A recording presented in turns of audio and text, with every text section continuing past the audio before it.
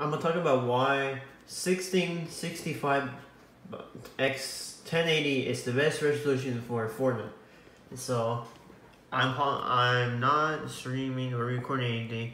I have a cap on 240, and the total frames, the ping, I get on my custom custom like my creative map like just basic it's just a basic world. Like you just launch the free build that's it. I get about this much ping. And i have total for three to four because normally when you have native you get like five to ten ping. Ping of milliseconds. So that's really good. And i've done many optimizations.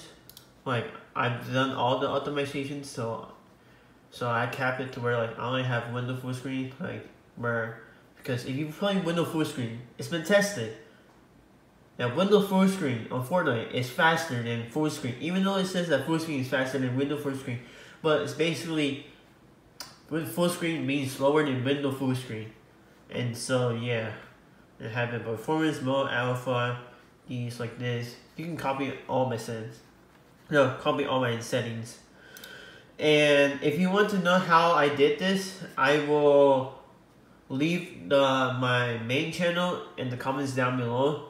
And so yeah, and if you if this was helpful and you like this, please like, share, and subscribe. It will um, thank all the means to me from you guys. Thanks and peace.